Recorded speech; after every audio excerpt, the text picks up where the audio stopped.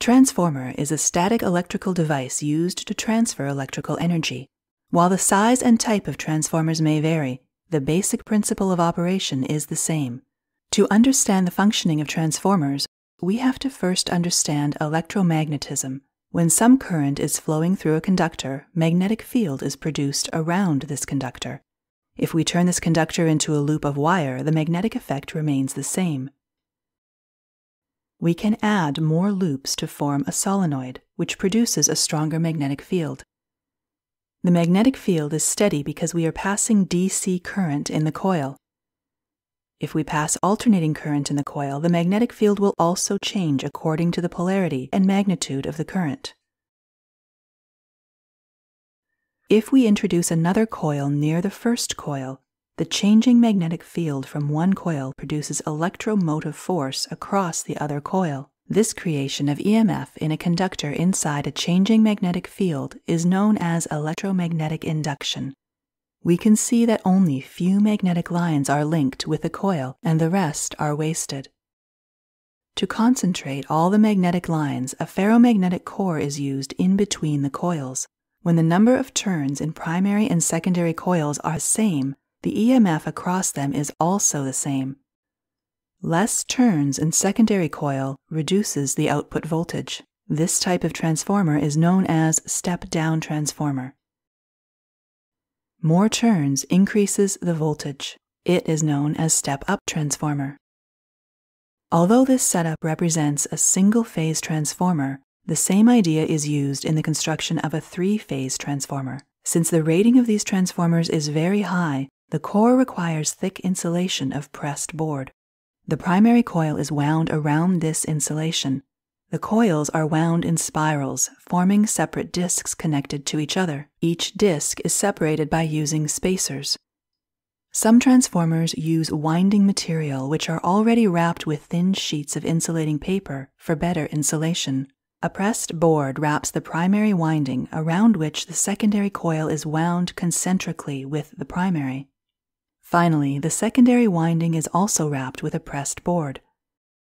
The input and output connections of single-phase transformer is straightforward and simple, but a three-phase transformer connection is quite tricky. Let's take the primary windings for instance. There are two ways to connect these coils. One is called star configuration, in which all three similar ends are connected to form a common neutral, with remaining ends being phase terminals. Another method of connection is called delta connection, in which a starting of one coil is connected to the end of the other. No neutral point is obtained from this configuration.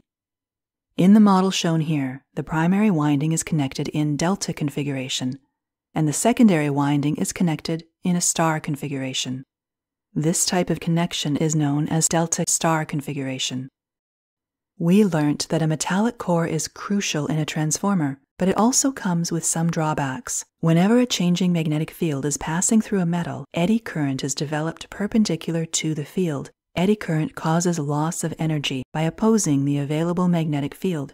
Since the eddy current flows about the cross sectional area of material, reducing the area reduces the magnitude of the eddy current. This is why transformer cores are made up of thin insulated sheets instead of a solid metal.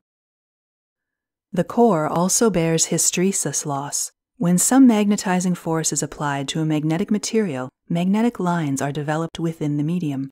Let's observe this in the molecular form. When the magnetic field is not applied, the magnetic domains inside the medium are pointed in random directions.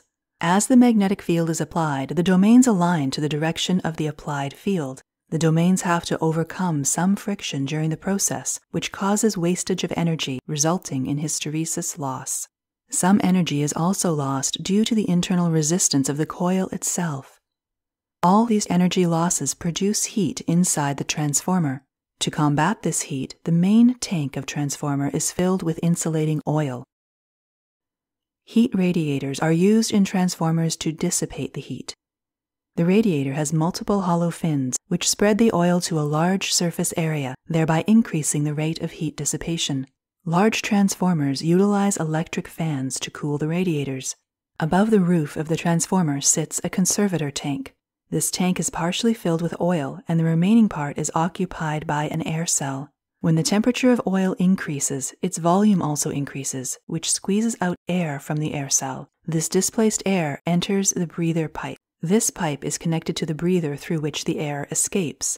Air also re enters through this breather when the volume of oil decreases. Breather is filled with silica gel to absorb any moisture that may be present in the air entering the tank. Transformers are fitted with a gas detector known as Buchholz relay. It is responsible for disconnecting the main supply to the transformer if it suffers any major faults. An explosion vent is fitted on the roof of the transformer. It has a diaphragm which ruptures when pressure inside the transformer reaches certain levels and prevents explosion.